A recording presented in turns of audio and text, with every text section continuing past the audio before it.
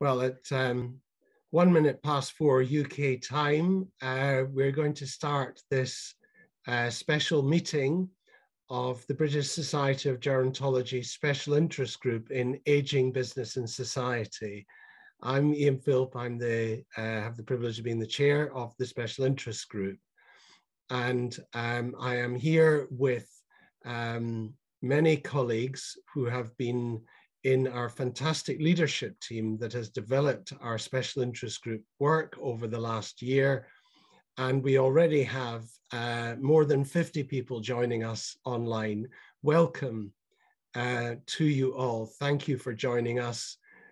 Uh, we're very pleased to contribute to the amazing program in uh, Longevity Week, and we hope to add significant value to thinking and to prepare for a year of activity where we will pursue our mission to bring together the communities of social gerontology, academics who study aging and older people, and the business community uh, for the benefit of, of improving older people's lives. Um, at the end of um, our first year of activity, and you'll hear more about this from Rob Walton, Deputy Chair, in a few minutes, uh, we agreed that we would uh, take a policy focus for our work in the year ahead. And we will, around that policy focus, develop a series of initiatives that we think will make a practical difference to uh, policy, practice, to business, and to science. And we chose retail. Um, and we chose retail um, because we feel it's an underserved area where business and uh, social gerontologists have got together um, to try and um, improve uh, the retail offer to older people. Um, and we feel that there, there is in this area a lot of work that we could do to add some value. Um, and we think, you know, at a time when we're certainly feeling the cost of living crisis, it would be good to look at uh, retail from the perspective of both business and the user, the older user, to see how we navigate our way through um, difficult times. Um, You'll hear more from experts on, on retail, uh, particularly uh, Ailsa Forbes, who will be uh, one of our principal uh, contributors today, who has taken up uh, a lead role in the International Longevity Centre UK to focus on the retail area. Um, but you'll also hear from uh, many others bringing different perspectives to this agenda. So I will uh, leave you in a bit of suspense about what's going to follow, but I'm sure you're going to enjoy it. And there will be time for questions and comment from, from everybody at, at, at various stages during the program this afternoon. Um, but at this point, I'm going to hand over to my colleague, Rob Walton, uh, who's going to summarize for everybody what we I think we've achieved in our first year as a special interest group in aging business and society. So Rob, can I hand over to you, please? Yes, thanks, Ian. Thanks for your excellent introduction. Um, as I, you say, my name is Rob Walton. I'm Deputy Chair of the SIG. I'm also a founder and managing director of Covostra. Uh, uh, an organization focused on community development, strategy, and advocacy. And I'm really looking forward today to be able to tell you about the journey that many of you took with us over the course of the uh, last year. Um, but I'm going to take us right back to the beginning, back to April of 2021. he searched at his calendar very quickly, 2021, and um, a conversation that took place between about 40 folk uh, really to discuss a, hypothesis, a hypothesis that there is a need to better build connectivity and engagement between social gerontology and the business community for the benefit of society. Uh, and it was agreed in that meeting that we should form a group like this. Uh, and so from that period, over the summer of 2021, we convened a leadership team uh, as a first step. And that leadership team, many of the people uh, on it you will meet today uh, through presentations uh, and exchange. Um, but it represents the leading uh, organizations in social gerontology and aging uh, in the UK and also in some parts of Europe and the US. So we're very pleased at the the excellent reach that, that this organization has created in pursuit of a mission that, that this group decided upon uh, in its first uh, leadership team meeting, which was to facilitate engagement between the gerontology and business communities to help older people live independently and be able to do the things that give their lives meaning. Uh, and within that context, the SIG at that point had three main aims. The first was to foster the career development of social gerontology through collaboration with business. Uh, that might be around pursuing a career in business while retaining a connection with the gerontology community. The second was about supporting businesses to better understand older people in aging uh, and to help them uh, in the context of business development. And the third was really in support of the WHO Decade of Healthy Aging uh, and the UN SDGs around health and well-being uh, and the reduction of inequalities. So within that context, I have a few pieces of reportable activity that took place in 2021. Um, and uh, the first was that the group planned and delivered a launch event in November 2021 uh, that took place um, as today uh, with the kind support uh, of Longevity Week and the Longevity Forum. Um, there were a number of registrations uh, and attendees at that event that have followed us through our journey.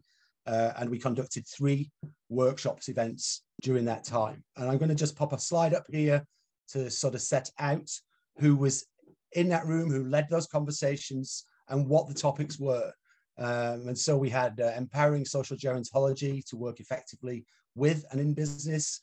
So uh, our key issue number one, uh, we had working together for the decade of healthy aging. That was number three. And then there at the bottom, and number two, how can gerontology and business work together uh, for mutual benefit? And I just want to say that those were excellent conversations that took place uh, for our group uh, and to thank uh, the, the many people that you can see that took part to, to lead really uh, illuminating conversations. Um, actually, throughout the series of events, the number of registrations and attendee live chat participants grew consecutively higher in terms of metrics for every meeting. Uh, for each event, the average number of delegates registered was 90. Uh, and in that time, the membership of the SIG grew to more than 250 members. Uh, as I mentioned, it was recognized as a partner of Longevity Week, and we're delighted that once again this year we've been part of those events uh, uh, and in the full spirit of partnership. Um, as part of our work with the SIG, we're granted £500 a year, and we've devoted that £500 a year to delivering these events. Uh, and that we've been fortunate also, and I'd like to say thank you to uh, Innovate UK uh, for their um, brilliant sponsorship of the uh, organization over the last year. Um, so we took a journey and they were the reportable outcomes, but we learned through that journey. And I think the biggest thing we learned is that there is an opportunity uh, and a big opportunity here. And that opportunity is uh, that business and uh, academic gerontology may have come from different perspectives, but there is a potential to create great alignment, and that potential is growing uh, as our pressures of our demographic change uh, are growing too. And actually, with these efforts, we can accelerate that further.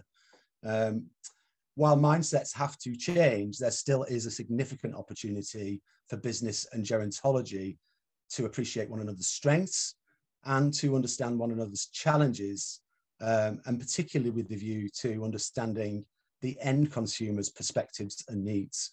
Uh, and that there should be more help to support both parties, business and gerontology, to come together and that's about establishing relationships where they don't exist, creating opportunities where they've never been, and including capacity building that we maybe have only just begin to realize at this point about how important and urgent those tasks are. So we recommend honest conversations. Uh, it's the start and the finish of all of these transactions. Uh, and they're honest conversations that between, take place between these two communities for mutual benefit so that we can champion the needs of each other's uh, parties and the challenges of that each other face in order to promote a healthy aging future where there is effective support for older and aging people. So um, we think that many academic institutions are already creating these opportunities as are some players in the business sector. And a part of what we want to do is try to put a lasso around that and, and create it uh, in such a way that there is a social benefit um, accruing. And we think that ultimately, and if you could go to my next slide, um, that that falls into three key domains. And we'll talk about this um, as Ian has alluded to uh, earlier, but we'll talk about it. It's about network, it's about reach, and it's an out, about output. So we, we can develop a strong network, a strong multi-stakeholder community of practice. Uh, and that practice can be developed through the proliferation of a diverse membership who are exchanging actively with us. And that transaction is two-way. Um, we can grow our reach and our influence by developing potential as a community beacon. Uh, so that community of practice becoming a beacon point for advocacy and business uh, in an aging society. And third, um, we can deliver outputs uh, that make a practical difference to the community from this work. Uh, and that is all I had to say. Thank you. Thank you, Rob, and thank you for all the um, work and energy and intellect you've put into supporting the development of the group over the last year. Um, so um, in the, this uh, um, session this afternoon, we're, we're looking ahead to the year ahead, and we're looking to translate the um, high intentions we have as a special interest group for making a difference into some practical initiatives. And we're going to give you a flavor of the, if you like, the smorgasbord of initiatives that we are launching. And we will be inviting everybody to take part in those that would be of interest to you. So in the year ahead, we're going to run three thematic workshops which will be designed to improve knowledge and understanding about um, improving the retail experience, improving product design, and the use of language and representation um, of older people in retail. And colleagues here, and I'll introduce them individually when it comes to, will be giving you a flavor of the, the high level thinking around these themes and we'll follow up with workshops to which everyone will be invited. Uh, we're also planning to develop an internship program where gerontologists can uh, spend time as interns in businesses. Uh, there's a well-established method for doing these sort of internships we'd like to create a, a, series of internships for people working in the retail sector of geront gerontologists to work in the retail sector. And we'll hear more about our thinking about that and enlisting help and support from you in developing that program. Um, we're also very keen, as you might imagine, to support knowledge transfer. How do we build on best knowledge and understanding and uh, transfer that to the broader community of interest in uh, the retail space. And you'll hear um, about the work that we're planning, some very exciting work that we're planning in that area in the year ahead. Um, and um, we will have a debate this year as to whether this group should develop a charter for the retail sector to be an age-friendly sector. And that work will emerge from the work we do this year if we think there is a gap to fill there. Um, we know there are lots of charters around, but we'll only take that forward if we think we can add significant value. But we'll be discussing with you the potential for doing that. Um, and then, um, so you're going to hear about all of this uh, in the next hour or so. And I won't uh, spend any more time introducing what we're going to do. We're going to now just do it. And we're going to start with Ailsa Forbes. So I mentioned Ailsa's recently joined International Longevity Centre UK. And Ailsa is going to share with you her thoughts about improving the retail experience for older people. Ailsa. Thank you so much, Ian, for that, um, that very generous uh, introduction. Um, I'm delighted to be able to um, give you my kind of first thoughts about improving the retail experience for older people, um, and just to uh, to put a little bit more um, information there. Uh, the International Longevity Centre is the UK's only specialist think tank, um, which have been in existence for 25 years and we look at in the impact of longevity on society.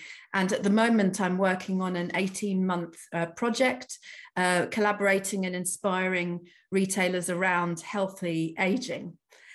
Uh, so to just clarify the, um, uh, the, the, context, um, I'll be talking about the mainly the physical experience um, of, of retail and what that consists of. Um, rather than online because um, this area needs very much due diligence and attention for another time. So perhaps that's a that's a follow up, um, Ian. So the idea of the retail experience, what does that consist of? And my very quick conclusion is, in, is that it's so much more than just a poor quality, lifeless transaction, whatever your age a, a retail experience is a cognitive activity, it's a physical activity, and it combines social engagement um, along with a journey of pleasure, satisfaction, frustration, or necessity. Um, for example, crucially within this realm, regular food shopping uh, provides older people with opportunities for social interaction as the risk of loneliness increases. And staying in control of their own food shopping is considered by older people themselves as retaining their independence, autonomy, and having a sense of community belonging. And as we age in later life, we spend up to 80% of our time within the local community. So retail ties are uh, ever stronger. And there are obviously multiple uh, reasons for visiting shops. There's an ease of accessibility. Uh, many older people choose a supermarket according to the perception of uh, helpful staff um, and being able to offer a, a, a toilet or clean toilets and a cafe, a place to rest between sections of their journey. Um, and it's it's also uh, an emergency solver, getting a key cut or a self-purchased treat, hairdressers, barbers, nails, uh, or for advice from uh, a pharmacy or a, or a hardware store. Um, and likewise with the hospitality and leisure uh, industries such as gyms, restaurants, cafes, cinemas. This is entertainment and keeping yourself healthy and keeping fit.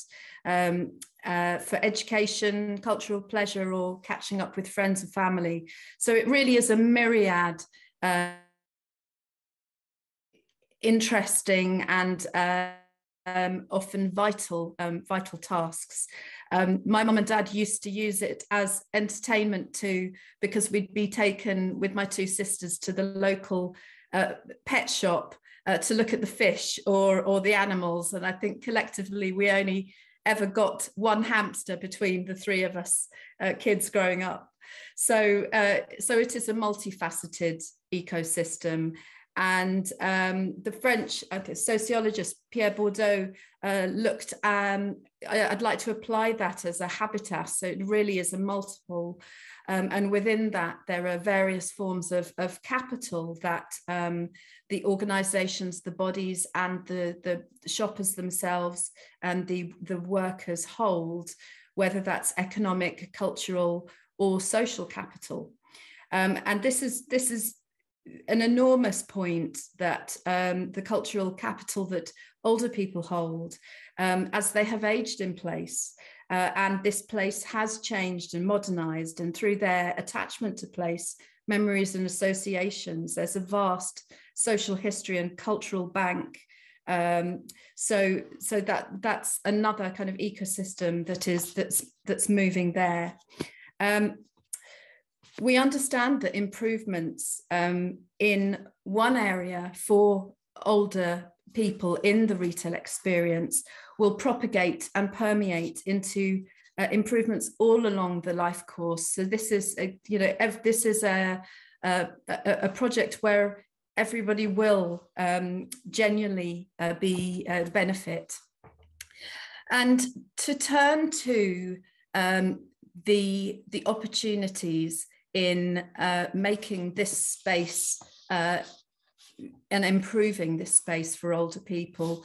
Um, firstly, we do need a translation of the data and the research, which is already out there, and translated into something that uh, retailers can um, understand, large and smalls, whether it's a chain or an independent, and making a commercial proposition. Because, of course, you know, we are dealing with the retail sector um, and and looking at um, uh, commerce is, is is their first point. Um, we also need to recognize that the retail experience is a systemic relationship made up of multiple stakeholders from the minute that you leave the front door for that shopping experience to the to the moment that you arrive back so I think that's also important to, to recognize that systemic um, framework. And, and how to improve this experience uh, for older people in, in kind of five minutes or under? Well, I feel that there are three, there's a three-pronged uh, strategy, which is internally within the shops themselves, uh, and then externally, that external environment from door to door, and then attitudinally, because uh, there is an entrenched and ingrained environment which affects everything across these different sectors from um, a buyer sitting in a head office choosing product to go into shops um, to the way that we're advertised.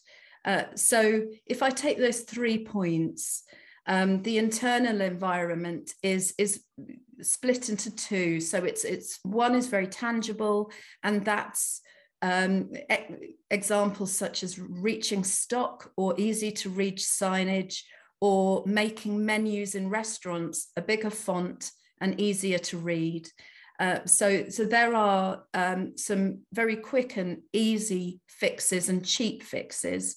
And then there is an intangible um, element to this. This is presenting outstanding customer service uh, in a welcoming environment, addressing a customer's needs, and most importantly, respecting the individual because there's such a, a huge demographic that come into uh, retail and it isn't one size fits all in terms of, of that approach and then the external environment is you know almost the sky's the limit from regular bus timetables or irregular bus timetables to um, to making that that journey from door to door a pleasurable one um, whether rubbish is collected regularly whether uh, there is suitable street lighting um, at night. I mean you know it's getting dark now and uh, making that retail journey needs to be safe.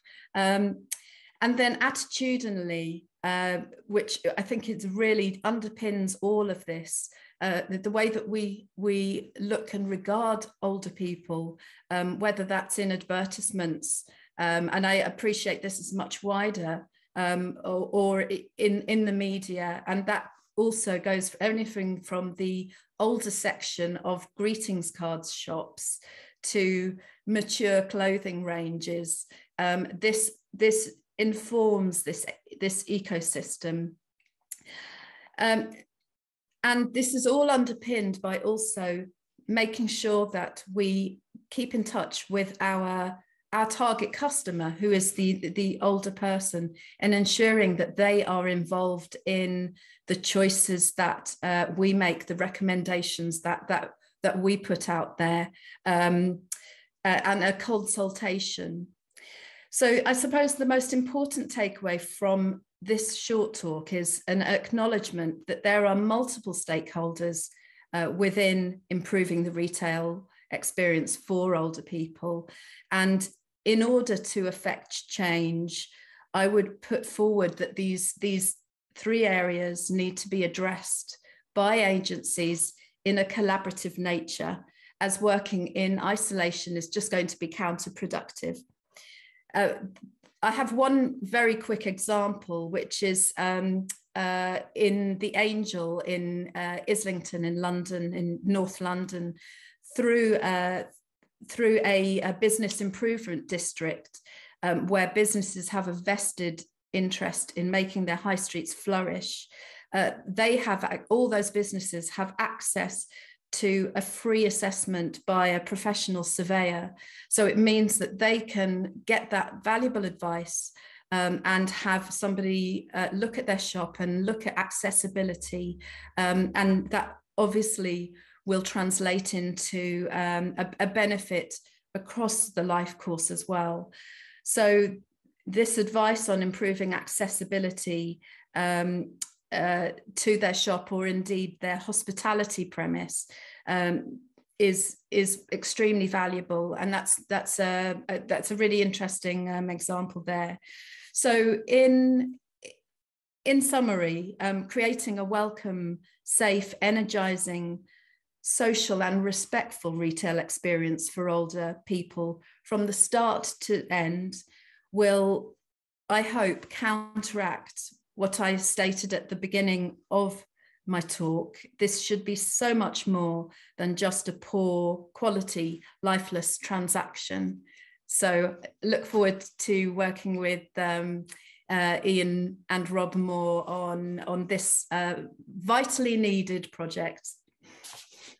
Um, Ailsa, thank you. Thank you very much. Thank you. Lots of um, great thoughts and uh, stimulating ideas. I, I, wasn't aware that Angel was particularly an, an aged uh, community in London. I thought it was full of rich millennials, but I, I, guess there are some legacy older people who bought their houses there before they became exorbitant and um, we need to create universal design shows my prejudices. Um, there are questions popping up in the chat, and I'm making a note of one or two to pitch to the discussion we're going to have at about quarter to five when we've heard from some other presentations. But I think at this point we'll we'll we'll move on. Keep your questions coming in the chat, please. Thank you. And um, the the next um, presentation. There'll, there'll, there'll, be two more, and then we're going to have a break for panel discussion Q&A. But the next brief presentation is going to be a double header from uh, Tim Shakespeare of Zinc and George MacGinnis of Innovate UK. Uh, Tim and George, I'll hand over to you to talk about product design. Good. And I'm, um, I'm going to talk, and I'm going to pick up, this is probably a bit more moving on from, from the Ailsa's what to um, the beginnings of how. And to start with, lots of reports and talks about what the economic opportunity is, but the reality is proving really hard to crack. And I think I agree with advocates of design and more specifically inclusive design that that is the key to unlocking this market. And Ailsa's sort of using what, what, what I think is, is a real retail buzzword, which is experience. And I think for many years, um, that, that idea of experience has led to ever more adventurous attempts to build temples to retail that converge shopping and amusement in its many forms. But what of our aging population? How does retail use design to create the sort of experiences Ailsa has talked about? Uh, sort of local access, places that meet their needs, and products and services that they find attractive and easy to use. And actually it is all about inclusion not an oldie special and rethinking place being local. So even if retail isn't your thing i think these are themes that should chime uh, and help you have greater impact. Thanks for that introduction, George. I'm going to um, delve into those issues of design in a little bit more detail, starting off by talking about some of the problems that we see with um, product design currently, um, and then talk about some of the approaches that we can take, some of the principles that might kind of form behind that idea of inclusive design and might lead us to better design for older adults in the retail space. Um, and I wanted to start off by introducing George Lee, who's done some fantastic work around understanding what older people's experience is when it comes to the design of products. Um, so George, if I can introduce you and just ask you, um, first of all, can you tell us just kind of the name of your project and, and what made you um, interested to start it? Okay, so it's um, hello everyone. Absolutely delighted to be here. I mean, you know, what what a what a you know collaboration, brain power, brilliance, wonderful. So yeah, so I am um, so I've been working with the Design Age Institute, part of the Royal College of Art, and more importantly, real older people, right? people like me, right? People who are over 50. Um, and so I've been working with the University of the Third Age, and we did a project actually asking real people, um, weird, I know, what are the most frustrating projects in our daily life in our homes right okay so it's called designing the for the everyday um, and so we we did a project um, and we we wanted to find out you know what are the most frustrating irritating things in our house that causes us to feel that actually getting older is not a great thing. So we launched the um, a survey with the University of the Third Age, which have over you know half a million people around around the country, and within 24 hours we had two and a half thousand people giving us their opinion, and it was extraordinary. So you know we had. Um, you know, a, a, lot. I'll just give you a few of the, the top 10. So we had things like um, TV remotes. I mean, who doesn't find TV remote and all those buttons really, really irritating? Things like keys and locks, sometimes they get they, they get stuck. Duvets, who finds it's sort of like changing a duvet a joyful easy thing to do? No so duvets were top of the, the things. Plugs sometimes they get they get stuck. And too many gadgets and and kind of things on white goods.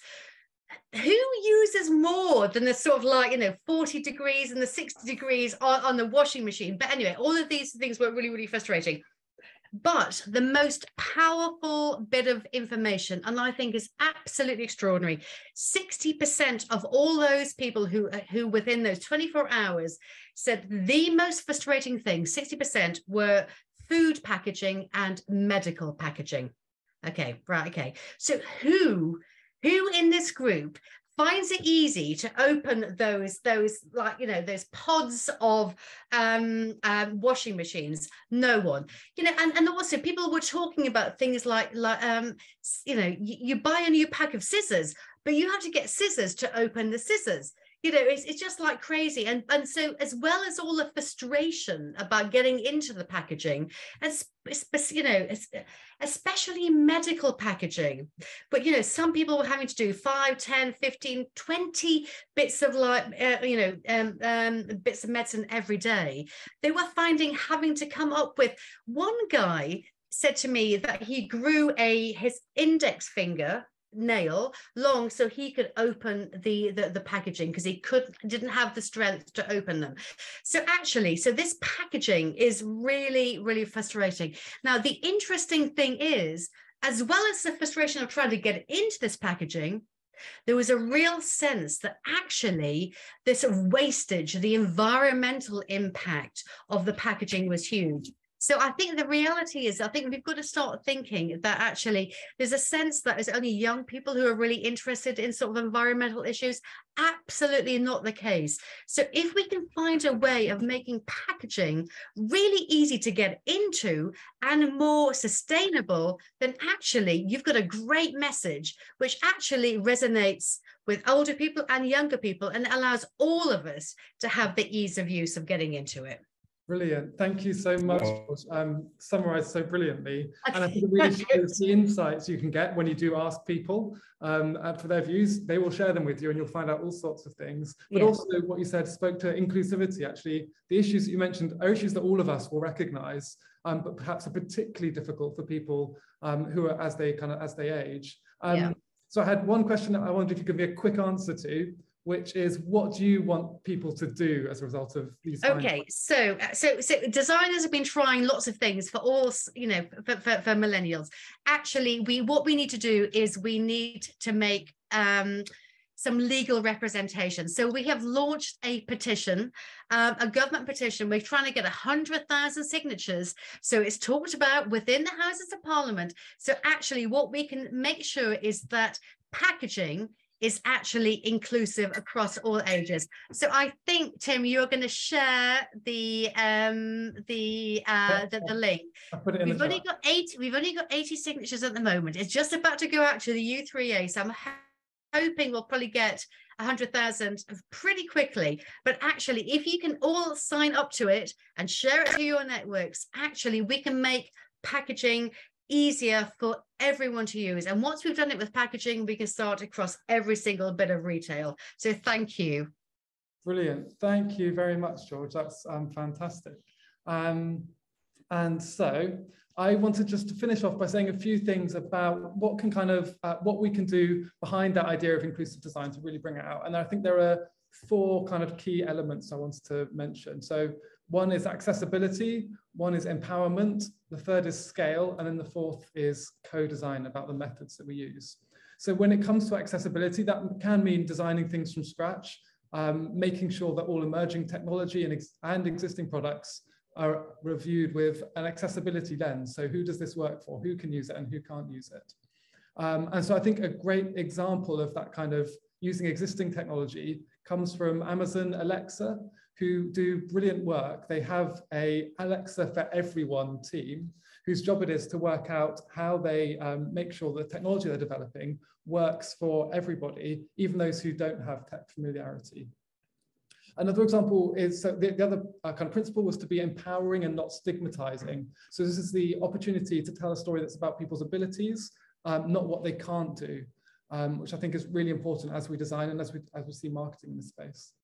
The third one was about scalability. And I think when it comes to retail, for us as the uh, this special interest group, really important for us to understand what the commercial needs are of the organizations that we're working with and how we can um, meet those needs at the same time as meeting the needs of older people, because I'm, I'm, sure there are really strong um, relationships there to grow. Um, and then last but not least is the opportunity for co-design. So that's working with older people to bring fresh perspectives and better designs that meet people's needs. Um, and this week I was speaking with Sarah Campbell, who's one of the award winners in the Catalyst Awards, which is a, a program we run funded by UKRI and supporting researchers to develop new ideas. And she has a great example of how co-design completely changed the direction that she took her project by doing really in-depth work over a series of 11 focus groups.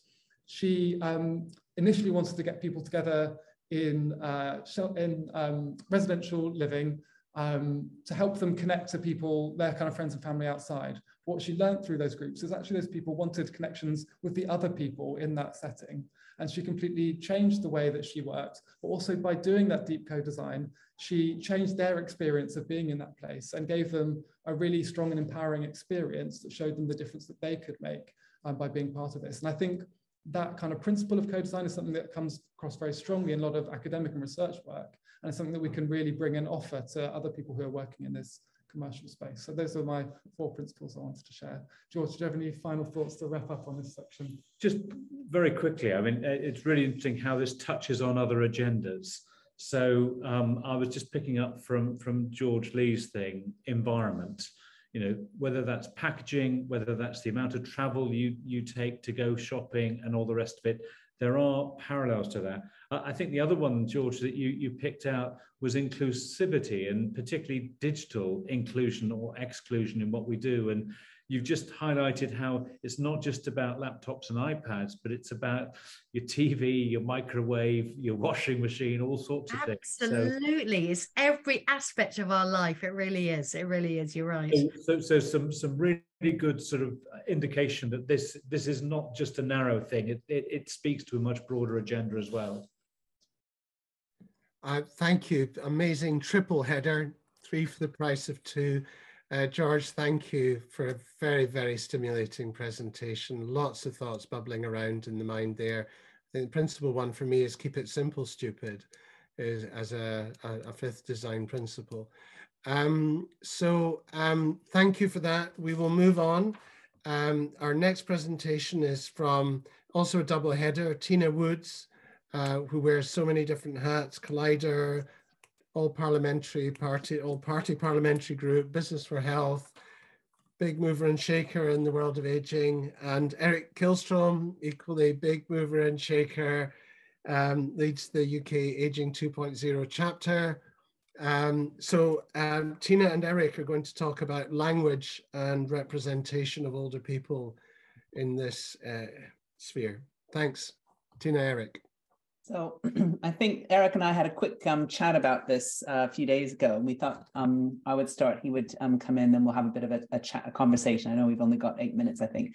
So, um, so I, I, think many of you know I, have got a particular sort of science and sort of tech kind of interest, and um, uh, and and spent a lot of my time actually joining up um, sort of the world of science and tech and policy, and government, business, investment community, etc., and trying to join join the thinking, but also increasingly the language uh, is really really important. So I'm going to paint a picture sort of, you know, the language of aging or longevity, however we want to describe it, is so, so fundamental in terms of joining up the community. And so from science to shops, from cells to cities, I'm really interested actually in, in the underpinning science behind it. So I'll talk, I'll touch upon, upon a little bit about that.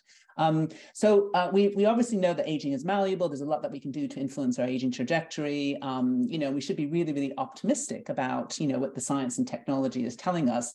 But I think a lot of people don't really know about the potential of the science and technology. And I think, unfortunately, um, we have a mindset, and actually, the, the a lot of the work that I've been doing over the past sort of three, four years now is really about sort of shifting that mindset from sort of like that negative view of aging to a much more positive view around the opportunities around living longer and longevity, etc. Um, and so I think, you know, disrupting those mindsets are, are, are, so fundamental. And, and with that is the importance on the sort of the lexicon attached to that.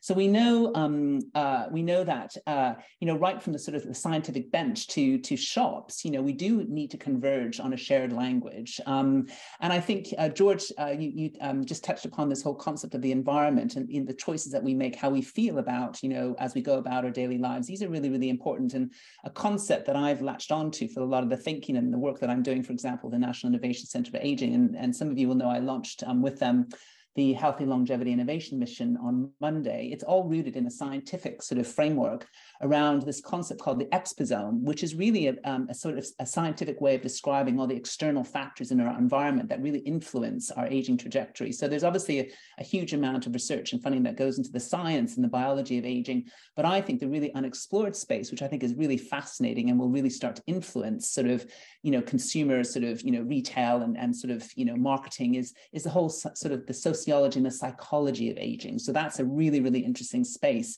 um, that it really is, is quite exciting. And, and most of you will know that, you know, there's, there's a certain, to a certain extent, our aging is influenced by our genetic inheritance, uh, but actually 75% or up to 80 or even 85% is, is very much to do with the wider determinants, you know, the environments, everything to do with you know, our lifestyle, you know, the homes that we live in, you know, the green spaces, you know, all these sorts of things. Um, and, you know, they're very, very influential in terms of, of speeding up or slowing down our, our rate of aging. Um, and so um, psychological age is, is uh, many scientists will sort of describe it in the context of you know your, chronolo- your chronological stage in a healthy state without drags of mental illness or depression you know how you feel about your life anxiety etc so this has been something that some of the really sort of pioneering um, scientists have been exploring. People like who i avidly follow alex, um, alex Zhavoronkov is doing a lot of ai sort of driven sort of work in, in aging clocks etc but he's doing a lot of work in psych- psychological aging clocks. And together with people like laura carstensen in stanford who coined this um, uh, concept called socio-emotional selectivity theory, how our outlook on life and how we feel about growing older actually really, really influences our mortality. And it actually really influences even our physiological responses. So I think that space is so interesting. And some research that was actually done ages ago at Harvard um, uh, uh, the counterclockwise experiment, you know, how you feel as you go about will fundamentally influence your aging trajectory. They did an experiment with um, people sort of taking them back to the music that they used to listen to, you know, 30 years ago. So those who kind of hark back on their memories, they they they they actually measured their sort of you know their uh, physiological state afterwards. Those who kind of just thought about it compared to those who actually physically lived it, listening to music, li- wearing the clothes that they used to wear, they actually had a, a, um, a, a, physiologically a slower rate of aging. So it just shows how your mindset is really, really fundamental to this. And I think, and I'll, I'll just spend one, uh, just very, very quickly, because I know my time is coming up. I think um, some of the work that I'm doing with NICA, some of really points to how our solutions really need to tackle that, so the psychological state of aging, and why, for example, aging stereotypes and aging still remains fundamentally the biggest barrier that we have to crack. You know, from science, you know, to retail across the whole gamut of stakeholders. Um, and so, uh, so I think, um, uh, you know, this whole notion around hope, our, our reason for being, our sort of sense of optimism, how we feel about how people relate to us, are so fundamental in terms of you know our aging trajectory. And so this kind of thinking and now that we've got the science actually backing up it really needs to translate into how we develop products and services you know right across the board you know in our environments in retail or housing you know all these sorts of things um, and my final point, interestingly, re the retail sector is really because of the skill shortage crisis and because of all the the, the, the issues kind of post uh, pandemic, they're really looking to recruit more older workers into their workforce. They are desperately looking to create more flexible jobs. They need workers to help them out. So I think that might be the start of them actually changing how they see the older sort of retail customers. So hopefully that presents some opportunities moving forward. But I'll I'll stop there. Thanks, Tina. Are you passing yeah. over to Eric? I'm yeah. passing over to Eric, who's going to yeah, take great. over. I'm right. Hopefully you can see my screen. I'm going to be quick. It's difficult to talk about representation without some pictures, so forgive me for doing some slides here. But um, essentially, what I wanted to do was talk about um, the language and representation. Uh, we know uh, this audience is familiar with the fact that people, one in three people are experiencing ageism. Uh, Tina just talked about uh, the workforce. There, are, House of Commons uh, report talked about one million people involuntarily uh, not involved in the workforce because of ageism. Culture hasn't caught up with science. And, and we were talking about uh, the, the high street. The ILC research shows that if we adapted the high street, we could add up to 4 billion pounds to the GDP economy. Uh, you know, we need to adapt it. But part of it is the fact that we just don't have the because culture hasn't caught up with the science uh, a lot of it is around the language and the images that we use um, and, and, and i think retailers have a lot to answer for around all of this and there was some research that was done by uh, uh, Hannah Swift, I believe, uh, was involved with it, and it was presented at the Center for Aging Better. It basically talked about four different types of portrayals. Uh, one is uh, older people being portrayed as frail and vulnerable, uh, which reminds me of the red button, help, I've fallen, I can't get up.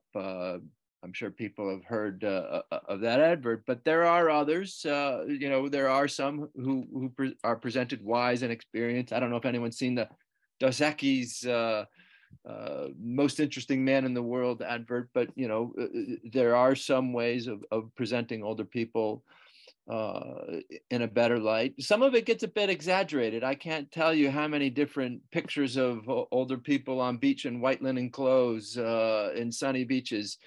Uh, I, I, don't know that many people who are retired in that way. I know there are a few, but um, not as many as you see on TV and, and radio, um, uh, print advert. But a lot of it gets to be unrealistic. Uh, uh, active and leisure oriented, but it gets to be exaggerated. I don't know if anyone's seen the Sun Life advert, uh, but I don't know anyone who zip lines off a cruise ship uh, into some sort of karate shop or, you know, it, it's it, it's just not realistic. And, and to be honest with you, what do you expect from an industry that kicks people out when they get to 35? I, I you know, I, I think the advertising industry has a lot to answer for when it comes to having empathy for the segment of the population that will be driving 50% of high street spend. You know, McKinsey talks about the over 50s driving in an urban environment half of all urban consumption. And, and to treat them with stereotypes is, is wrong uh, is about the most polite word that I can find for it. So, you know, they're not the only organization uh, to to have a look at this. Body Shop actually gets it. Um, they've got a really interesting. Um, this is a headline from some recent media around what Body Shop has done. They have stopped using the word anti-aging in their advertising. Um, the, the beauty industry is um, not good for the mental well-being of their customers. Surveyed, they found that uh, it negatively impacts their self-esteem and mental health. Um, so, so the images that are used and the language that are used has a direct impact on their consumers, and and it has been wrong. Now, what's interesting is the pandemic changed everything, including our perception of gray and gray hair. So, um, "Gray Evolution" was a title of a Telegraph article last year that I I like the title. Uh, you know, I, I, I think we ought to embrace uh, embrace this. And, and, and, so during lockdown, women wore their gray as a badge of honor. There was a survey done by L'Oreal, and, and they found that 47% of the women were embracing their gray hair and, and really wanted to do it to age fearlessly.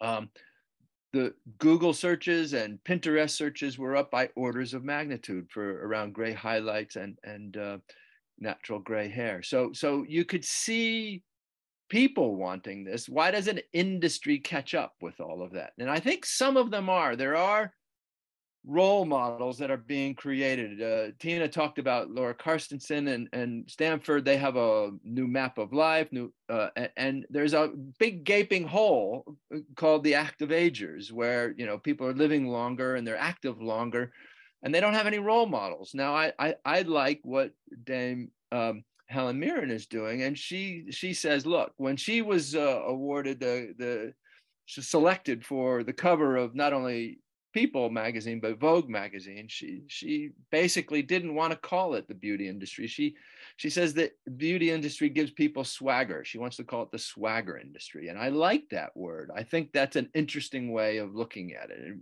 beginning to reinvent what we're looking at.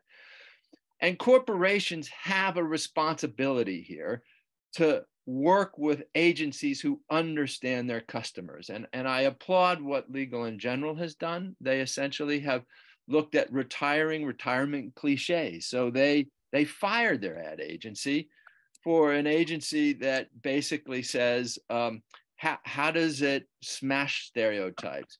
So their campaign is about smashing uh, objects, clocks, um, uh, rocking chairs, etc. So uh, I, will conclude on this quickly. Um, a lot of this just reminds me essentially of the movie Fried Green Tomatoes, where uh, Kathy Bates in the film was waiting very patiently to get into a parking spot, and a young uh, two women uh, flew into the spot and turned to her and said, Well, we're younger and faster. And as she started repeatedly bashing into her car, she says, I'm older and more insured.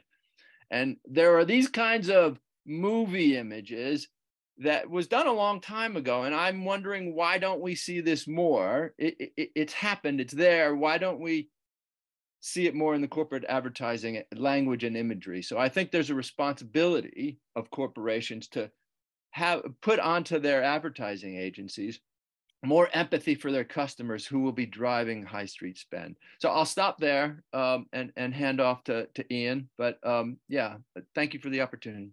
Uh, thanks, Eric. Thanks, Tina. Um, so stimulating. There's a lot of chat going on. People loved lots of your ideas.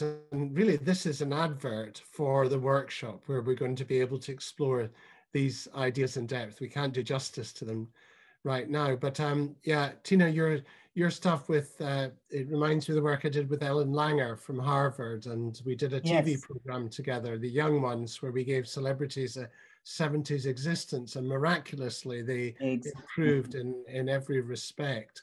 Um, but also when I, I looked at the blue zones where people live exceptionally long lives, the seventh most important predictor of longevity in men was their self-esteem based on how they felt they looked in later life. And I, I, yeah, Tina. Yeah, just I mean I know we've got probably one minute left. I, so I find this so fascinating, and I and I uh, so so first of all, Eric mentioned this use of the word anti-aging. I totally agree, and scientists have to stop using that that um, term curing aging. I hate all that language. It's just terrible, reinforces ageism. But to your point, just very very quickly, um, I, I I think um, uh, I had a very interesting uh, perspective shed, shed, you know, with plastic surgery and women who, and also men who get Botox and all this sort of facial sort of treatment.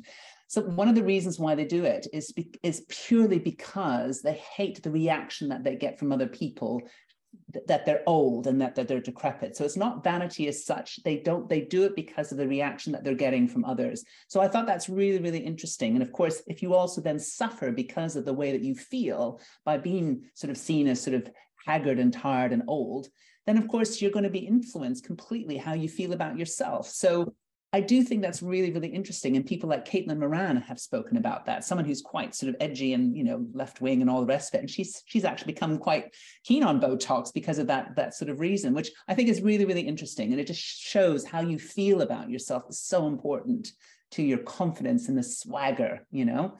So it is interesting.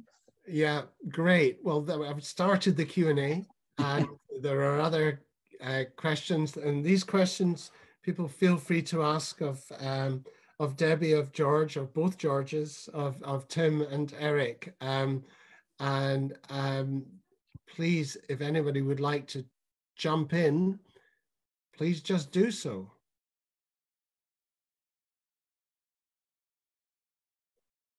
I mean, just while we're waiting, before um, people do interrupt me because uh, about this, but um, there, there was a question early on, and I think this is for um, sorry, so, so this is for Ailsa. Apologies, Ailsa. Um, um, this is for Ailsa. There was a question about, is there, how do you improve the retail experience for older people that live in spread out communities, older people that are, are isolated? And I think that was in response to some of your ideas about what should be a better experience for older people. Do you want to address that one, Ailsa? Um, yes, thank you. Uh, I I think that uh, in terms of unity, you have to you have to you have to start building that, and uh, um, online is a uh, is an area that that really does need to to be be addressed. Um, I I wonder about um, retailers and giving them the the the permission to be mobile um, and bringing bringing services to communities. There was a there was a great um, library service uh, that was in in really rural parts of of uh, Italy, and he the, the guy had just converted a, a van. He pulled down the side um, and drove around that uh, that community, making sure that um, uh, kids uh, kids were able to to book out um, uh, books and publications, um, and so. So I, th- I, think you need to think about retail, retail differently in terms of accessibility, whether that is online or whether that's um, being being mobile and also retailers collaborating together um, to, to reach uh, rural communities. All right, thanks, Ailsa. Dominique, actually, I'm glad your hand came up there. I was just going to pick out your comment about older people being suspicious of Alexa and Amazon. Uh, Dominique Lucas, please, um, I don't know if that was your question. Um, no, it wasn't my question, but I'm happy to, to, to comment on that anyway. I mean, I live in a in a rural area currently. I am um, I'm not 60 yet, but I am old fashioned anyway. But I grew up with 90 year olds and 100 year olds, and I find the whole longevity thing, I'm catching up. But I used to think, well, what's the big deal that we were always 90 and 100 in my family? So um, growing old isn't an issue for me. So that's where I kind of come from.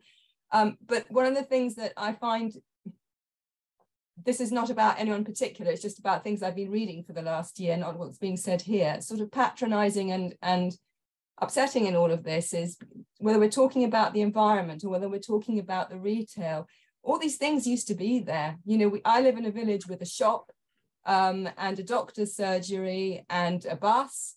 And we have a wonderful community, and no one wants to leave here. A lot of them are older um, because we have everything, and we do have things that come here. We have uh, people get together and do things.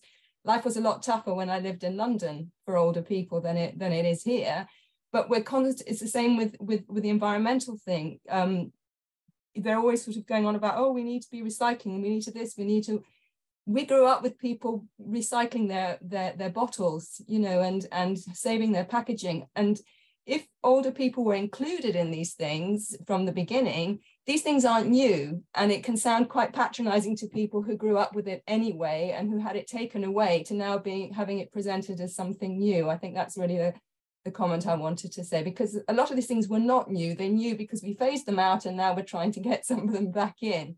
um, and intergenerational communication and working would have not needed us to reinvent all of these wheels. Obviously, there are lots of things that were wrong in the past as well. I'm not saying everything was rosy. So anyway, that was, and the comment about the Alexa was, I mean, most of the people I know around here, they don't actually want to be on Alexa. They don't want to be digitized. Um, their life is great until someone tells them that they can't go to their bank or they can't use something. Obviously, COVID was different if people were isolated um, you know, they want, I mean, I'm on Zoom because I'm at home and I couldn't go out and all of that. Um, but actually there's a lot of hearts and minds to be won because I know a lot of people around here who wouldn't just then just don't see what technology has to offer them um, unless with COVID they couldn't do anything at all. So um, and the presumption all the time is that these are good for you and you know and these you should have, but they don't actually want them. I'm not saying everybody, but there's quite a lot of people who don't. So Dominic, thank you for that. I'll, I'll not bring others in now, George and Eric, sorry, just in the interest of time, but perhaps we can come back. We've got time later. Um, the um, really great, heartfelt, perceptive comments as somebody who's observed older people and you're observing your own process going through that and observing your community. It's back to Tina's point, I think, about the social psychology that we need to study uh, and learn lessons from about about the aging process and how that impacts on various aspects of our life. Um, brilliant. Um, let's let's just change gear now. Um, we're going to move away from the sort of thematic areas that we were exploring that we will explore further in workshops in the year ahead. And those of you who got excited by what you've heard, if you got excited um, by anything you've heard just now. I hope you'll sign up to participate in the specific workshops when you have a chance to uh, test the thinking with colleagues who have presented and contribute there. Um, we'll change gear into some of the initiatives that we're hoping to develop in the year ahead. One is around um, developing an internship program and um, Paul Clarkson of the University of Manchester and Alison Benzimra of the United St. Saviour's Charity are going to take us into that uh, discussion. I'll hand over to Paul and Alison. Thanks, Ian. Um, Eric, you had me laughing out loud with your imagery of older people. Um, and in fact, I'm going to keep going with that imagery and movies because I used to be part of the Emerging Researchers Committee and have now moved to be involved in the Business Committee. And I wish that this forum was more available to emerging researchers because it's such a fascinating conversation. Um, I had a conversation with the ERA members to kind of discuss what they would envisage this looking like an internship. And I think it goes back to the language that we use and what our stereotype of an intern is. So what comes to mind is Robert De Niro in the movie, The Intern, because many people go into gerontology much later in life. So they might have a many feathers in their cap with experience from the corporate sector, from marketing, from finance, and have now, through their lived experience, gone into gerontology. Um, another point that came up was ageism. Um, again, on our perception of what an intern looks like. Is a business going to be bringing in an intern who is in their late 50s, early 60s, even 70s? So, how do we define what an intern looks like and what that role looks like. Um, and I think it goes down also then to value, because if you're getting your PhD as a gerontologist later on in life and you have this myriad of sk skill sets, um, how do we place value on that? And I know, Paul, that's something that we spoke about in our conversation earlier this week around resource and value. It is, Alison. Thank you. Um, hi, folks. I'm Paul Clarkson. I'm an applied uh, academic researcher, uh, really, and uh, this is a, an opportunity for you to all to listen, eavesdrop, really, in a conversation that myself and Alison are having live now. We've um, uh, pre-planned a little bit of it, but we're just going to go with the flow, Alison, aren't we? And um, uh, yeah, it, we've we're, we're, learning a lot from um, established partnerships between academia and in industry in aging, mostly from the care sector, is myself and Alison's involvement. But those can translate into principles for retail as well. So we're going to pick up on a few of those in our conversation now. Uh, and one, as Alison's rightly highlighted just now, is uh, the resources and value uh, principles that we need to build into these um, internships. um, because um, there needs to be value both ways in terms of for the intern and for the host organisation hosting the, the intern. That needs to be planned really carefully. There needs to be resource to both. Um, academic um, gerontologists, for example, tell us um, if they're going to provide um, support to businesses, for example, um, their PhD is is not not free. It's not for free. They, they can't provide their expertise for free, and likewise, businesses can't take things for free. They can't provide their organization as a host for free. So that that organization, that planning needs to be done uh, really upfront. And um, uh, I'll put a few examples in the chat as we're talking just a, uh, in a few minutes from some of the established partnerships between academia uh, and industry that are up and running now from major research funders, most, mostly in the care sector. So it needs to be planned properly, uh, Alison, doesn't it? And but there's a difference in perspectives between perhaps what the intern needs and wants and what the host organisation uh, needs and wants. And you've got a couple of things to say about that, haven't you? And I think that the, the difference in perspectives is a topic that came up in our first workshop last year between the languages that are spoken between academia and between business. So again, reflecting on the conversations I had with my, my ERA colleagues, was uh, my one uh, ERA member said, well, I do social research, not market research.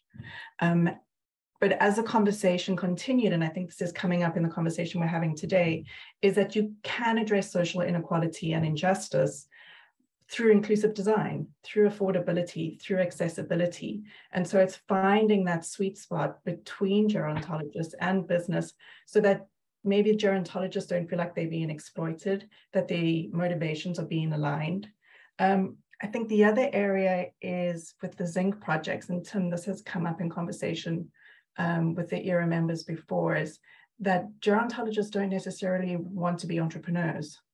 Um, and are there programs, and maybe this is where the internship or a work placement um, kind of format that we're looking at could provide that with an opportunity for gerontologists who want to dip their feet into business and have an opportunity to experience what it's like to work in a more corporate sector without necessarily having to take on the risk of being an entrepreneur.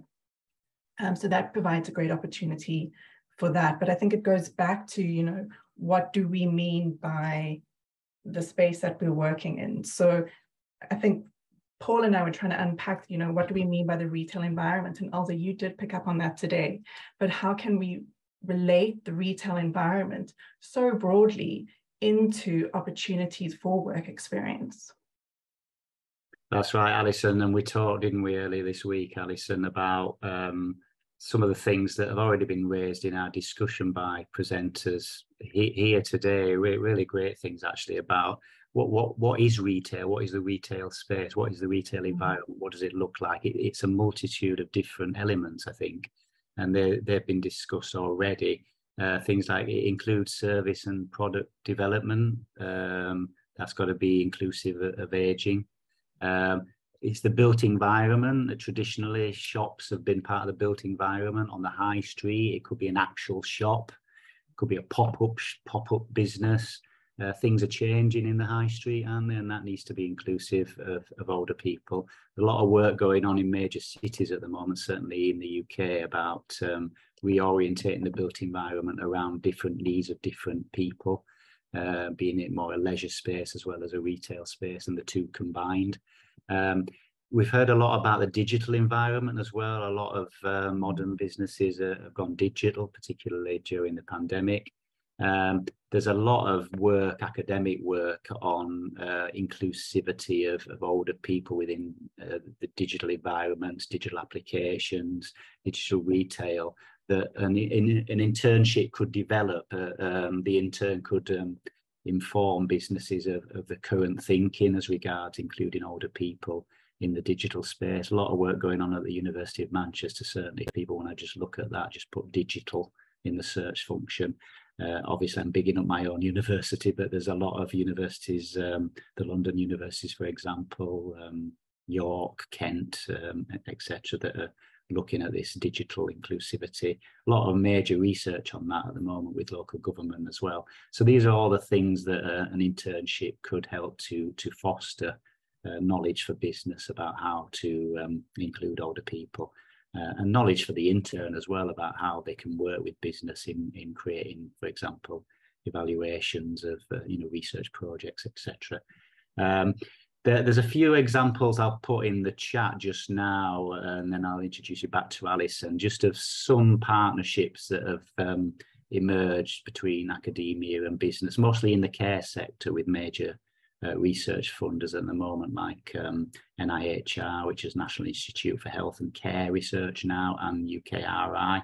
I'll put those in the chat for you just to have a look at while you're listening to the last bit of our conversation. And they they sort of form principles by which we could design our internships, I think, uh, about resources, about um, the breadth of the internship, what it covers, and what uh, specific academic knowledge businesses could um, um, benefit from. So I'll put those in the uh, partnership, but these are sort of virtual, I guess, partnerships. You you have to apply for them, and then they so they start, and there's resources both ways. Um, but Alison's got some examples and more community examples, haven't you, Alison, on the ground, so to speak, um, about uh, partnerships. So over to you while I put things in the chat for people to have a look at. Thank you, Paul. Um, and I'm always pleased when Sarah Campbell's project is mentioned um, because I worked on that project. and I think what the success of that project was was the triage of trust between a community organization, which I worked for, the residents that I had established that trust, and bringing Sarah in. So there's a good example of working multi-sectory in building that trust. Um, another area of an example is the Bermondsey Business Improvement District. They're wanting to become more inclusive. And the Age UK in the area does a food delivery service. That funding is coming to an end. So what they wanting to do instead of deliver food is do a transport service to get older people out of their houses to the shops. But they were saying that they are having resistance from the local retailers. So there is a classic example of a project that would benefit from bringing a gerontologist in to understand the the complexity of the issue. Great. So Alison, Paul, thank you. Just in the interest of time, I think we will move it on um, and we'll pick up a bit in the Q&A, but what you've done is you've raised the importance, the potential importance of programs, some of the principles, some of the benefits for both parties, and some great examples. Um, there will be people um, on this call today who might be interested in helping with the design of a, of a program that, that we as the special interest group would help to sponsor or support. So please, colleagues, if you are interested in getting involved in the design and development of internship programs, could you get in touch uh, with us or get in touch directly with Paul or Alison if you don't mind um, for help with this there is one comment that I really did think was worth mentioning, um, in particular from Tim and George, that rather than calling interns, implying this is a sort of start for a business career, what about calling this a program for scientists or gerontologists in residence? I really like that. Um, okay, so let's um, just move on now to um, Debbie Keeling, University of um, Sussex and Richard Whitfield from Emerald Publishing, who are going to talk to us about their cunning plan to support knowledge transfer from gerontology to the business community. I'll hand over to Debbie and Richard. Thanks so much, Ian. Um, I, I, do love cunning plans, as you know. Um, Namrita, do you have the slides or would you like me to share? Thanks. Um, so what, what in terms of um, knowledge exchange, what we'd really like to do, if you can go to the next slide, please, is, um, is, is do a special issue, but um, it's not a special issue as you might know it. So we're not talking about special issues uh, about um, uh, publishing research articles, but rather impact articles. And what we mean by that is uh, an article type that focuses entirely on the impact that's been brought about through work and learning about that. So you, uh, to the left of the slide there, you can see that um, is about understanding where that, how that problem was identified, who the stakeholders were, how they were involved, the way in which co-creation uh, or, or, or other forms of collaboration were utilized, actually what impact was brought about over what sort of time period, um, what in fact, how did the, the notions of impact change over that process? And, uh, and also critically understanding the ethics of impact. And we don't mean ethics from a research point of view, we mean ethics from if you're bringing about a change, is this a change where you, that that has been considered by stakeholders and the potential unintended consequences of impact have also been uh, considered. And um, you, it, the special issue really wants to uh, showcase work that um, uh, can demonstrate impact or impact uh, evidence impact very uh, very much on the issues that you've heard today around goods and services that recognize difference uh, and not don't treat older consumers as one huge group. And we've had a comment about that in the chat. Um, that, that, that they also understand that uh, the uh, importance of space, and that's not just space as one store, but space as to how uh, um, uh, various stores uh, are brought together what, uh, what else that space offers, and also that space is a community and an environment, and those wider issues that Ailsa picked up on earlier. And of course, uh, about we also heard about stigma and um, how do we market uh, uh, products, services, the way in which we portray people, the way in which we design and portray spaces that that that really tackle ageism. And uh, I've put a few points there about the sort of things that we're, we're interested in, um, but you know, particularly around how the older consumer voice is, is uh, maybe not just included, but also driving design, um, how goods, services, spaces um, can be much more effectively uh, produced and, and offered actually in collaboration with people. And particularly the um, the special issue again is designed to capture non-academic authors' voices as well. So we're really encouraging teams of people to contribute to this where you have non-academic authors, but also that are interdisciplinary uh, and, and also um, bringing in, for example, investor views as well and how investors are brought into that collaboration and really very much about how we can um, uh, uh, reduce that uh, those issues around ageism.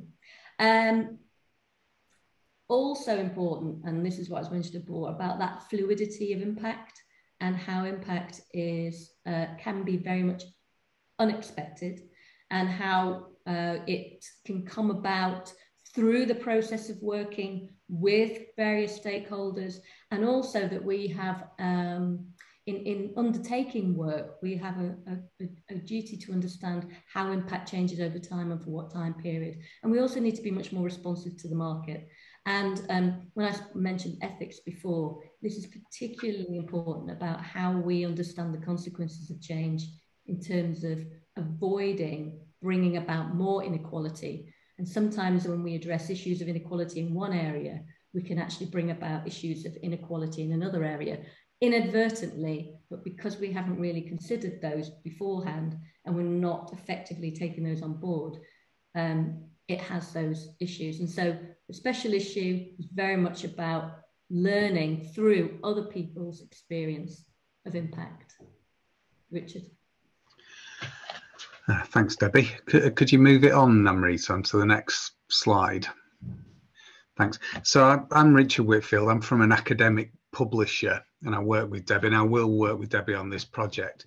And I'll just explain briefly why we as a as an academic publisher think this kind of project is so important. You know, I can see that quite a lot of people on the call today are not academics and that is what this is all about. It's, you know, brilliant. Um, academic publishing, uh, you know, in terms of full disclosure, I've been working in publishing for 25 plus years in terms of age. And I've seen the, the rise of sort of the impact factor, which is all about how, how well cited academic research is. And then over the last few years, people have started to realize that that is an impact in itself. You know, what is really important in terms of academic research is the societal impact that that research is having and em Emerald, as, a, as an academic publisher, thinks that's really important. We've signed up to something called DORA, which really says, you know, uh, impact needs to be looked at in its broadest sense. The sustainable development goals are obviously very important. They're important to this kind of project when you're talking about things like reducing inequality. And, you know, as a publisher, we've signed up to say that we will do everything we can to support those sustainable development goals. Uh, you know, we're trying to do lots of tangible things, like, for example, impact services, explaining to uh, to universities and, and academics and trying to support efforts for researchers to really understand impact, you know, how to design their research, how to figure out what sort of problem they're trying to address, how they'll know when they've achieved what they were aiming to achieve, all that kind of thing. And then we've we've worked already with Debbie uh, on something. I think Namrita will be able to circulate um, uh, an example of what we've already done with these kind of articles, um, which hopefully you would find interesting.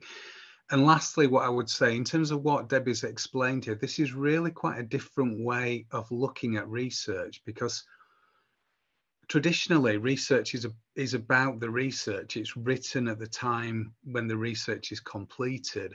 And what we are talking about here is looking very much about the impact of that research uh, at the time when the impact is achieved. It could be quite a long time after the research has been done. And there's a lot to be done here in terms of the way that that research is evaluated and everything. And that's the kind of thing that debbie and i will be working on Thanks, Richard. And I think just to say a plug that if you do feel that you have uh, a, uh, some impact to share, where you could really uh, evidence and be best practice, also evidence learning about working with stakeholders uh, around understanding those different perspectives of ethics of impact, do get in touch with us. Fantastic. Thank you both for a great, succinct um, presentation. Um, we're going to have uh, five minutes of some Q&A and then Rob and I are going to wrap up the session for this evening. We've managed to hold on to nearly everybody from the start, which is very good. But I, I do have a one and a half hour rule, which suggests that after that time, people's attention and energy will drop. So you've, you're nearly there. Um, um, I'd, I'd, actually like to bring um, Chris Britton in. Chris has put in some really interesting stuff in the chat about the work that Chris is doing in the States that we might want to. Hi, Chris. I didn't know if you were a man or a woman, but you've now, uh, or how you identify, sorry, I'm in the new academic world, I'm an old guy. Um, the, um, the, the, how, you know, anyway, after that embarrassing moment, I shall just pass over to you to talk about the work that you're doing, Chris, please. Brilliant, thank you. And, and apologies for flooding the comments. I'm so excited by what we do that I sometimes find it a little bit difficult to um, shut up. So uh, thank you for the opportunity for, um, for, for, doing a, a, bit of a talk rather than uh, keep flooding the comments. Um, so Get Set Up is a really, really interesting company. We started off teaching technology uh, virtually. So it's all online. Everything we do is online. We've got over 5 million active members every month who are all over 55. And we teach four and a half thousand live classes every single month, um, which is phenomenal. It's, it's three, four, five an hour. Um, and the thing that makes us slightly different is that every single class is peer to peer.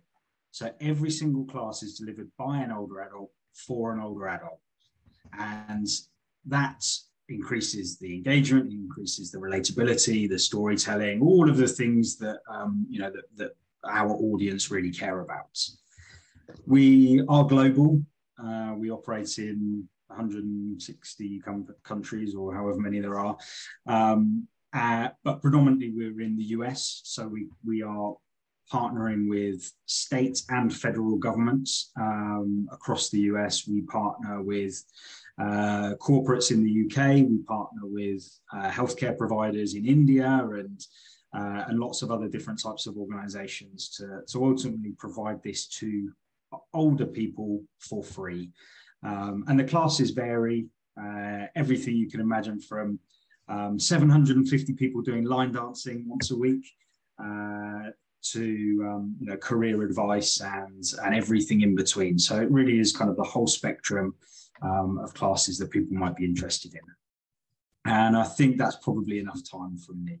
Um, th thanks. That, that's great, Chris. And, and I think the insights that would come from the people, the older people that you work with and you help educate and you develop this peer learning, the insights from that are a wonderful resource. And, uh, you know, one of your comments was, let's not stereotype uh, older people. Um, there's so many different subsets that we could look at.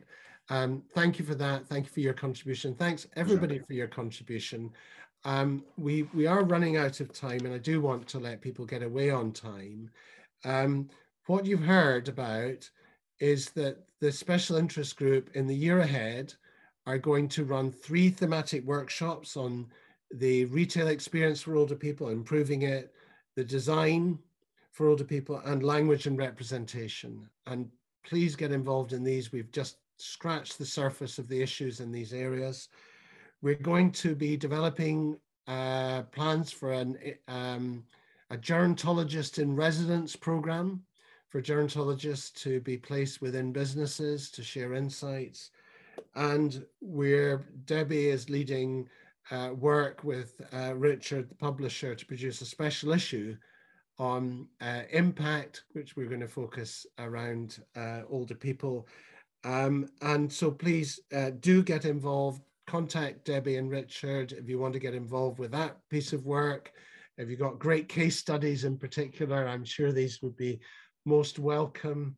Um, please get involved and help with the development of the internship program. Please get involved with the uh, workshops that we've got in the year ahead. At the end of the year, we might be able to produce a charter that distills all the learning and sets out in simple terms, what are the three or four or five things that all businesses should be thinking about with regard to older people, and particularly in the retail sector? But a lot of this uh, moves from specifically retail into broader questions about how gerontologists can work with industry. And we're, we're going to use the lens of retail, if you like, to draw out the lessons and how we can make a difference in the year ahead. Um, uh, by joining this call, you are de facto members of our special interest group. It's uh, not a, an exclusive group. We don't charge membership fees, but we will keep in touch with you unless you tell us not to. And we hope that your knowledge and wisdom will help inform our work as we go forward. Um, that's my summary. I'll pass over actually to Rob. Uh, just Rob reversing our roles at the end. If you could just uh, say a few words just to finish off uh, the, the, this uh, this event and um, anything uh, that that you want to let people know about the practicalities of getting involved um, sure, in year ahead. Rob. I mean, all I want to say is congratulations on to everybody. What a stunning, a stunning event. Um, I, I, have never seen a chat so busy uh, as this one here. Uh, thank you so much to all of our speakers for the preparation you put into it. Um, I hope that through this process that this plan for the year ahead has come across really clearly. But I'm not going to make any apologies for just putting a bit more meat on the bones. And Namrita, I know in my predictable style, we put a, a boring slide together. But just to say, our workshop events are going to be February, April, and June as they're scheduled for this year. So we, we are really looking forward to seeing you um, again uh, our next event, which will be February, where we'll be looking at the uh, retail experience for older people. Um, we'll work the dates out. We'll let you know exactly the dates, but you can imagine that a lot of busy diaries at the moment. So we're really just trying to close in on a date for the first one. And secondly, uh, if you are looking to join these working groups, Namrita will send out an expression of interest form after this event. And I think what we'll also include in there will be the details of uh, how to get involved in the impact article. Thanks so much, Debbie. Uh, we know that hot off the press, the landing page for what an impact article is uh, and how to build one um, is going to be in a link that we'll send through to the group um, over the next uh, day or so. And, uh, you know, finally, I think just to say thank you to George uh, for sharing, was it George who shared the petition? But we'll also pick that up. Uh, really, you know, great cause, and we'll be happy to share that with the group as well. So, congratulations, absolutely superb event, and uh, look forward to seeing you all again here soon. Thank you. Thanks, everybody. Have a pleasant morning, afternoon, or evening, depending where you are in the world. We'll see you. Look forward to seeing you again soon. Thank you. Bye-bye. Bye. Bye.